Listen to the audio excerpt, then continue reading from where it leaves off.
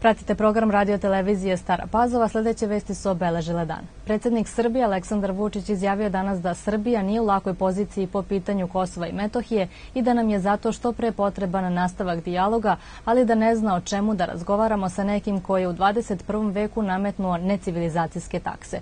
Upitan za navodni plan nemačke kancelarke Angele Merkel za rešenje kosovskog problema, rekao je da ga nije video. Blic je ranije danas objavio da srpski vrh i predsednika Aleksandra Vučića očekuje vruće diplomatsko leto, kada je reč o Kosovo i Metohiji i precizirao da Vučića tokom leta očekuju sastanci sa francuskim parlamentarcima i ministrom odbrane Belorusije, a predsednik će potom otputovati u Minsk, gde će imati seriju sastanaka. Sednica Saveta bezbednosti Ujedinjenih nacija o situaciji na Kosovu je protekla u znaku napada bezbednostnih snaga Kosova na sever Kosova i Metohije, izjavio je za Tanjug ministar spoljnih poslova Srbije Ivica Dačić. On je nakon sednice istakao da se najviše govorilo o hapšenju i pitanju imuniteta pripadnika UNMIKA. Bez obzira na političke razlike, sve članice Saveta bezbednosti Ujedinjenih nacija, uključujući i generalnog sekretara Antonija Guteraša, neoštrije su osudili narušavanje imuniteta pripadnika predsednika UNMIKA, rekao je Dačić u izjavi za Tanjug. Dačić je u razgovoru koji je vođen posle sednice Saveta bezbednosti Ujedinjenih nacija rekao da bi jedan od ciljeva Prištine mogao da bude i podmetanje raznih eksplozivnih naprava širom severa Kosova i Metohije. To je veliki izazov i zato sam upozorio KFOR, jer im je zadatak da štite sve građane bez obzira da li su Srbi ili Albanci da spreče napad na sever Kosova. Ukoliko to KFOR ne uradi, dolazimo u veliki rizik za destabilizaciju čitavog regiona, naveo je Dačić. Dačić.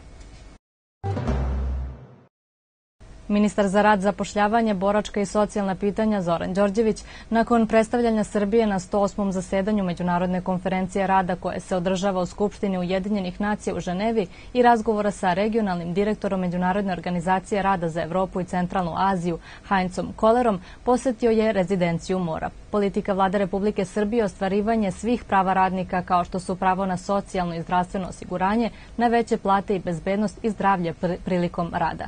Bez zadovoljnih zaposlenih radnika ni poslodavci neće ostvariti profit, a samim tim ni država neće napredovati upravo zbog toga nastavit ćemo da radimo na napređenju položaja radnika, radnog okruženja i prava poslodavaca, rekao je Đorđević i dodao da je 2019. godinu vlada Republike Srbije proglasila godinom bezbednosti i zdravlja na radu. Konferenciji prisustuje premijerka Srbije Ana Brnabić. Veliki posao je urađen od 2014. godine na zaštiti od poplava i sada je šteta znatno manja nego što bi bila, izjavio je danas predsednik Srbije Aleksandar Vučić tokom obilaska mesta u nekoliko opština u kojima su poplave i bujice nedavno pričinile štete građanima.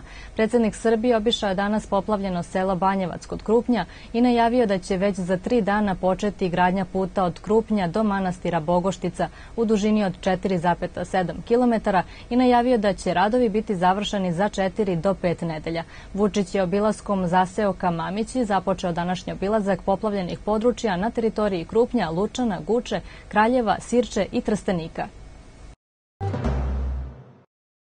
Danas u Skupštini grada Sremska Mitrovica dodeljene nagrade povodom literarno-likovnog konkursa u okviru projekta Osnovi bezbednosti dece koji organizuje Policijska uprava Sremska Mitrovica i Uprava za obrazovanje, kulturu i sport grada Sremska Mitrovica, a u kome su učestvovala deca iz svih škola sa teritorije Srema. Među nagrađenima su i Tijana Mirković, Marija Ljajić i Sofija Peri škole Rasko Nemanjić Sveti Sava iz Nove Pazove i Milorad Ninković iz škole Boško Palkovljević Pinki i Sara Šeša iz škole Simeona Ranicki iz Stare Pazove. Pazove. Nagrade su uručili Željko Sekulović, zamenik načelnika policijske uprave u Sremskoj Mitrovici i Svetlana Milovanović, zamenica gradonačelnika Sremske Mitrovice. Dodali nagrada novom devetom literarno-likovnom konkursu prethodila izložba nagrađenih radova.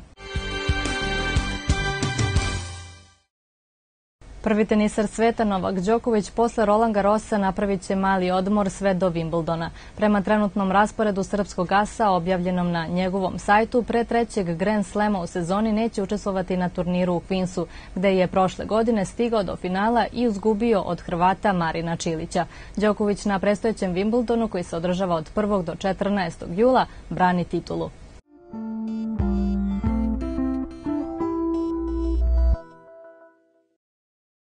I sutra vreme sunčano i veoma toplo, a meteorolog Nedeljko Todorović prognozira da neće biti olakšanja u vidu vetra koji bi eventualno mogao da bude slab do umeren. Najniža temperatura kretaće se od 14 do 20, dok će najviša dnevna biti 34 stepena.